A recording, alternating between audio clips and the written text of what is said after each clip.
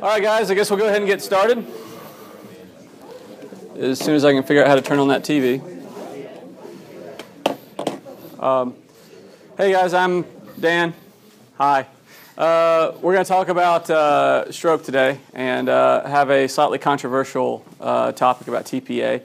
Um, some of y'all that have been here for a little bit know that there's a controversy about TPA. Some of y'all that are fairly new may not know. So we're going to talk about that today. So I got no conflicts of interest um, at all about this. Don't take money from anybody. What? No, I, I cannot do his voice at all. I'm offended that you would ask. When I read your emails, I'm reading it. no, I don't. So we'll start with the case. Got a 67 year old fall down, found out to have stroke like symptoms, and then they get to you an hour or so later. This is kind of best case scenario. I don't think I've ever seen someone with suspected stroke that actually got to me much sooner than an hour, because that's really, really quick. And that's actually rarely seen. So, show of hands. Who thinks that, that thrombolytics, being TPA, are standard of care for stroke that meet current guidelines? So, we're saying less than three hours, there's no bleed, significant stroke. Raise your hand if you think that that is standard of care. Offering or giving? We'll say that you should give it. So now we'll say, should you offer it? Okay. So most of the room says you should at least offer it. I didn't see more than maybe one hand for you should give it. Would you give it to a family member? Okay, so let's say that you're there and your mom's there and she's the lady that, that fell down and found out to have stroke symptoms, okay? We'll say that all the stuff that we said before, so it's quick, you know, it's an hour and a half later after the, the stroke. She's got these symptoms, they're significant enough to where people would consider giving lytics would you counsel your mother if she like looked to you because you're there in the ER with her? Would you counsel your mom to take TPA? Okay, got, got a few more hands for that. And would you want it yourself? Let's say that was you. Let's say that you're the 67 year old woman, which is a pretty big change for Merwin to become a 67 year old woman. But, you know, oh, he's not even here. That's terrible. I, I, I don't know. I, I, I, didn't closely look at his uh, interview packet. Maybe all this time Merwin's been a 67 year old woman. I didn't know. Uh, but would you want it yourself if you were that patient and you met all these criteria? Raise your hand. Okay. Now, part of the frustration is that the number of times that you raise your hand for should we offer it to our patients, should we offer it to a family member, and should we offer it for ourselves should be roughly the same. Okay? Reason being, if a treatment works, we should go for it. And if it doesn't work, we should abandon it. Okay? And I'm going to talk about what I think from my current reading of the literature and how for all of these I would actually lean towards the no. So I'm going to say that, that TPA is not a proven therapy, that we just don't know enough about it. And the literature, if you really deep dive on it, is actually not very supportive. So I'm going to cover five myths of thrombolytics. So one is that TPA is special, that all the information about older ones like desmoteplase or streptokinase don't apply to, to TPA or alteplase. Okay? The other myth is that it causes a Lazarus effect because if you ever bring this up with neurologists, they'll say, Yeah, I, I pushed it this one time, and then like 20 minutes later, they were able to play the piano, and it was beautiful. And they couldn't play the piano before, and it was entirely because of TPA that they learned. It's just this weird, weird thing, okay? Number three is that it was consistently beneficial. Okay, so part of the reason that so many people are supportive of thrombolytics and stroke is because the only um, studies that we talk about were the positive ones, somehow forgetting all the ones that were negative. Uh, fourth is that it should be standard of care, or considered that it's standard of care. And the fifth is that this is the only thing. So often people will say, well, if you don't believe in TPA, it's the only game in town. There's nothing else that can actually help these folks. So, so stop your yapping because we're just throwing a Hail Mary. So we have to say what's a stroke. We know what strokes are, okay? There's the ischemic, which is the ones that we're talking about for the rest of this when I say stroke, and hemorrhagic. Please don't give TPA to hemorrhagic strokes. I'm pretty sure there's no literature on that, so it's just as well supported as the other, but uh, don't give it to hemorrhagic stroke. Uh, strokes are terrible. This is the mandatory boring demographic uh, slide. If, if you didn't know that strokes were a problem, uh, you should really restart. Um, so why not only focus on TPA? So we brought this up earlier. Isn't it special? And the reason is that, that, that people are so focused on it is that it costs a lot of money. Okay, and I feel like some of this debate about whether it would be a good drug or not would largely go away if this was a, a $5 drug. Okay? Saves lives in trauma. There wasn't this like upwell of support for it in many areas, partially because the drug's practically free. And so there wasn't anyone to make money off of it. So, what are they? They're basically clot busters, okay?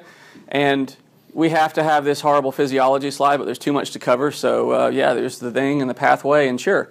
Uh, and if you know what plasminogen is, it turns out it turns into plasmin, and TPA affects that. There you go. That's all you need to know. Uh, so, myth one is it different? And so, I'm going to talk about the heart attack literature. Okay? So, back in the day when old people roamed the earth, uh, there were a lot of questions about what we should do for heart attacks. Okay? And it wasn't very clear at all what we should do. Should they go to the cath lab? Should they get lytics? And more importantly, which of those folks should go to the cath lab and who should get lytics? Okay? And it's easy to look back if you have really only practiced medicine for a few years and think, of course, we know that you should go to the cath lab and give lytics to STEMIs and forget that, wait a minute, they didn't know that for a long time. There were decades and decades of people having heart attacks. They knew they were having heart attacks, but they didn't know who should get aggressive treatment up front and who should basically just be watched to make sure they get better. Okay, and we didn't know for a while. So when they took a look at, at lytics for stroke or for heart attack rather, it's overwhelmingly positive. It's not a huge benefit, but a very noticeable one. So you basically get a mortality benefit. And that's about a 2%. So you, you need to treat roughly 50 folks or so with lytics if you didn't have a cath lab in order to save a life with a, with a STEMI. Okay? And they had a huge number of patients, nearly 60,000 people over nine trials, and the studies were consistently positive. They all honed in, give or take a little bit, at that 2% mortality benefit. None of them were negative. Okay? That's huge. And I want you to keep this in mind that it's not that medicine studies are hard, they are, but this was a very, very consistent finding in study after study. Interestingly, TPA actually had a worse performance for intracranial hemorrhage than streptokinase, which was a, an older lytic that's rarely used now. Okay, so it's very curious that that became the standard of care, um, quote unquote, for um, use in strokes because it's the one that's more likely to cause brain bleeds. So, what about strokes? So now we only have 8,000 people, which is about one seventh of what they had before. Okay, the majority of studies are negative, and we'll talk about that there's a much higher risk of stroke, possibly because that tissue is already damaged in the brain because it's got ischemia. And so it's more likely to bleed than if you're just having a heart attack and your brain's fine. And there was no consistent time based benefit. We'll, we'll talk more about that later. Okay? So check the scorecard, all right? Everything looks better for the use of lytics and STEMI, and everything looks much worse for stroke. Okay? So, but this is what I'm talking about here that we didn't know who should get it. Okay, if you pushed lytics on every NSTEMI that walked through the door, you're going to be killing people because it doesn't help them. Okay, turns out it took us a long time and tens of thousands of patients to figure out, oh, these folks with ST depression shouldn't go emergently to the cath lab in the next hour.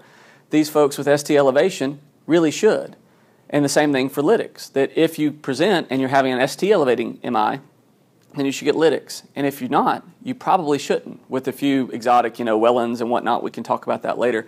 But those folks really shouldn't be getting um, lytics unless you have that. And we have no idea with, with strokes who should and shouldn't. So we're going to go really quickly through 12 trials. This is just a, a slapdash run through every major randomized controlled trial of um, lytics for stroke. Okay. At the top, you'll see different colors of headings. Okay, if it's blue, it means that there was no benefit. They ran their study and they didn't really show that it was better or worse. Okay, if it's green, it means it was positive. Okay, or at least reported as positive. And if it was red, it means it was actually stopped early due to harm. Okay, see if you can find a pattern. So this was the first one, MAST in Italy. No benefit, less than six hours with streptokinase. Please note, tons of people are talking about using lytics for less than six hours, and uh, it didn't really work. Then ECASS. Everyone likes to talk about ECASS 3, forgetting that they probably had an ECASS 1 and 2. Hmm, interesting. They, uh, they used TPA for this one for less than six hours. No difference in disability or death. NINDS 1, again, people like to talk about NINDS 2. Well, NINDS 1 was robustly negative. And so this was um, deficits at 24 hours. This is our study that looks at the Lazarus effect, okay? Anyone ever says, yeah, yeah, I pushed the lytics and they got better right away, that person might be having a TIA. And the reason I say that is that there is no data at all in any randomized controlled trial for lytics and stroke that shows that people got better within one to two days of receiving them. Period. It's not there. Okay? So you may have personal experience where they got better, and that's fine. But I actually had a patient that I thought was actually having a stroke. The neurologist wanted to push lytics, the resident did. The attending came down, found out that it was some really weird migraine thing, and she got better. okay? So if it was really just me and the resident, she would have gotten lytics and she would have been that Lazarus effect. Didn't happen. She got better on her own because she was having a weird migraine thing. Okay? So this is your Lazarus effect study, and it was robustly negative. NINDS 2 is reported as positive, and we'll talk more about that later. Okay, this is the thing that actually got TPA on the map. Okay, so if you look back though, how many studies? So you got negative, negative, negative. Oh, we got one. Now it's standard of care. You better give lytics. And that's what happened. Once NINDS 2 occurred, people started talking about how can you not give this? It, it makes people better. Okay, we'll talk about all the problems of that study later. Now we got our first, actually, not just negative, but stopped early due to harm, because it turns out people were dying. They had 47% mortality in this study. Admittedly, the placebo group had 38% mortality, but this was a number needed to kill of 11. and that's not a comfortable sentence to say during your lecture. they stopped halfway through because they're like, turns out we're murdering people, y'all. And so they're like, yeah, we better, we better cut that out. and so that's what they did. And this is the very group that you would think would be the most benefit, okay? They're the moderate to severe strokes, all right? Smart neurologists have honed in not on the little bitty ones. You know, if you have just a touch of aphasia, or, you know, maybe you have just a little bit of motor weakness, very few people are arguing for lytics for those folks. So this is the group that you would think. They had terrible looking scans that showed large clots in big vessels, but it actually just killed people. Then there was the ASK trial. Again, we uh, sort of kind of killed people, and so we stopped our trial early.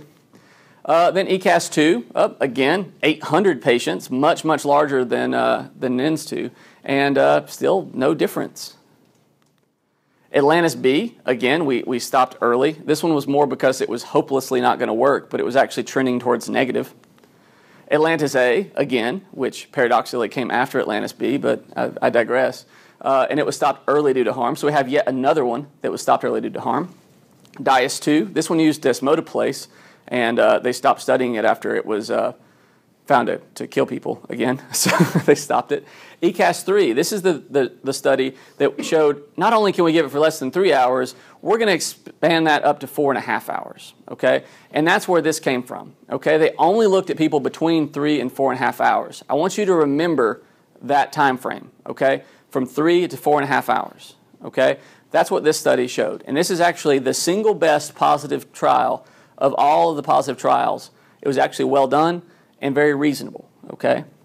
So we'll, we'll talk a little bit later about why I still don't believe what this study shows, but this is the single best piece of evidence, in my opinion, that, that thrombolytics may work for stroke. The range on ratio starts at 1.02. Indeed. That's as good as it gets, Jim. That's as good as it gets, is, is the 1.02, which means that even if this result was true, and I'll show you why I don't think that it was, uh, then it, you, you had a 95% interval of only 2% benefit, which is pathetic, okay? And no mortality benefit. IST3. Now, I actually listed this one as inconclusive because I, I trusted the authors when they built their study and used their primary endpoint that they were using the whole time. They reported it as a robustly positive trial, and it's a bunch of hooey, all right? I will tell you that in a, in a second why, okay? But this was an unblinded study that had a comedic number of flaws to it, and, I, and I'll show you why I listed it as, as not positive. So let's check the scoreboard, all right? So number of trials per result result. We got four studies that were actually stopped because of harm. We got six that were negative, and then we have two that were beneficial. And I'd be willing to bet that most people in this room, if they haven't heard me speak on this before, have not heard about the other 10 trials that were not positive and have talked at nausea about, about the, the two that were, okay? Which doesn't make any sense. Let's look at the number of patients. So you say, oh, well, maybe those, those trials that were, were negative, maybe they were tiny. Au contraire, my friend. Look at this. The number of negative trials were enormous. There's a ton of people versus we're actually basing quote unquote standard of care on 1,100 people. Okay? That's actually fewer than the number of patients that were in trials that were stopped early due to harm. Okay? This little red bar is what I call Dan's being a jerk bar because this is what would have happened if they allowed these studies that were killing people to keep going. Okay?